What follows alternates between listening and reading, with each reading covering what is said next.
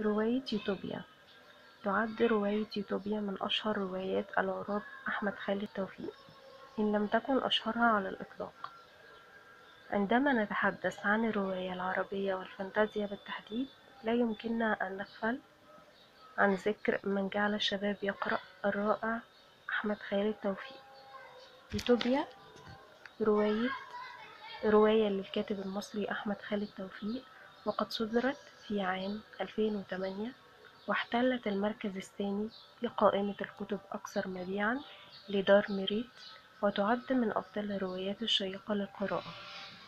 هي رواية بأحداث مشوقة في سنة 2023 حيث أصبح الأثرياء في مصر يقتلون الفقراء كنوع من أنواع الصيد والتسلية حيث يتقوقع الأغنياء في يوتوبيا المدينة الأكثر حداثة وتطور في المنطقة. في ذات الوقت يعيش باقي الناس في فقر مدقع ويقوم الأثرياء بقتلهم كتسلية رواية يوتوبيا تعد من أفضل قائمة الروايات الخيالية العربية.